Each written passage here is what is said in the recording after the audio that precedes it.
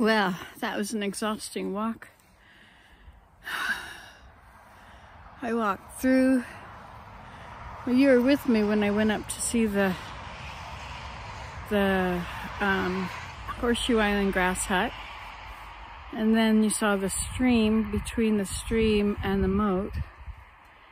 And I didn't walk that way. I came back. I walked all the way around and saw the, you saw the waterfall, right? An iceberg pond. And then there's a big hole for the beavers, but I really needed both of my sticks, so I couldn't film. I needed a GoPro on my head. Anyway, so I, I went then around um, to the road and came down the highway. And I discovered that the archway to the foyer and the foyer have collapsed. Shouldn't have put a roof on the foyer and the snow could have gone through. Oh well, my big teepee is still just as it is. Perfect, just perfect in every way. Looks like the flag needs to be untangled again. Looks like it has lost part of this flag onto the other side. And thank goodness I have the swing and the roof wasn't tied tightly and so it was able to tip and plummet all the snow off. It was a good thing. And, uh, and now I have no energy left. With refrozen snow, you step on it with your weight and then you fall you only fall a few inches, but with every foot, somehow it's not really conducive to a happy, pain-free body. But anything can be solved with a bit of rest, right? Oh, and I did find out, I looked it up online, salt does cause inflammation in the joints. So now, and I was interesting because all these things I've given up to get rid of the inflammation were on that website. So salt and sugar and gluten. It didn't mention rice. Rice doesn't really cause me problems in the joints. It's more in the bones. anyway, so I'm off of those things. I had this avocado I told you about, right? It was, it was about that big around on the bottom, just the bottom It was enormous. It wouldn't fit into those little to-go boxes. And I was, I put salt on around the edge of it, the opened edge, so it wouldn't turn black. And that worked, it was good. I should have actually dipped it into the ocean because the salt water would have been perfect to keep it from turning. Anyway, so I have the seed. I'm going to give the seed to my daughter. She can grow anything. I wonder what kind of an avocado tree she'll grow with that big, huge seed. She is really good at all this growing stuff. I wonder if any of her outdoor gardens are still growing now. She's got them under two layers, you know, like a blanket on top, or sheets on top, and then a greenhouse above that. Perhaps she'll put a third greenhouse over everything this year. That would be good. Then it would really help. I should try doing that. I have my garden beds I could do the same thing with. There's some traffic now as it is the day after the new trip around the sun begins. It's really weird to have missed the whole holiday. And the children have made a wreck of the house as usual. But some of it's tidied up. They used my alpaca spun wool to, to make a um, spider web all over the house. Willem tried painstakingly to unwrap it without damaging my wool. What a sweetheart. I would have just cut through the whole thing in the middle. But maybe I wouldn't have, you know. But you can probably just lay it side by side when you're knitting.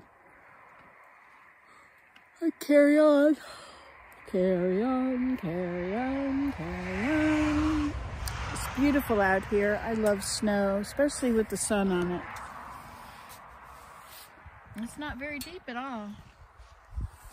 Not only did I miss the blizzard and the bitter cold, but I missed the thawing of it.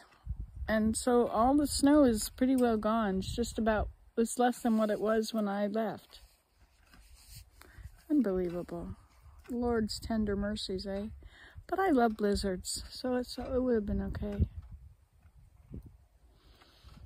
So I have somebody I want you to pray for. And I'm not going to tell you anything about the condition, just that she needs a miracle. So please pray for a miracle for Mary, okay? Thank you. Let's have a prayer. Dear Heavenly Father, thank you so much for blessing us that we got home safely.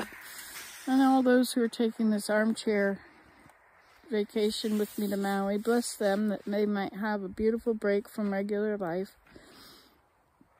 and be able to virtually have this wonderful holiday and see all these beautiful things and places. And thank you for the places that we have and for what we can create out of them to grow flowers in the desert and to make everything that we have beautiful, whether it's by our smile or by adding bushes and plants and flowers or whatever it can be. And bless us all that this new year, which we have heard many terrible things about, that we may have joy as we're close to Thee. Bless us that we can love those who hate us and love those who are mean to us and love those who are mean to one another. And bless us with forgiveness in our hearts. Help us that our families might be united. And, and Please watch over us all that we will have the help that we need to survive the days that come. Bless us that we might be close to Thee, that we might learn how we hear Thee, so that we might know how to get answers to our questions and to know truth instead of this is telling us one thing and that is telling us another. And there's all these theories and all these supposed facts and the real facts. And bless us that we might know the difference between truth and error and that we might be close to thee and led by thee at all times. Help us to read thy words. Help us to talk to thee. And thank you so much for all the many blessings that thou gives us, that we have the ability to breathe. We have the ability to eat and to go to the bathroom and to walk and to pick up things and move things with our fingers.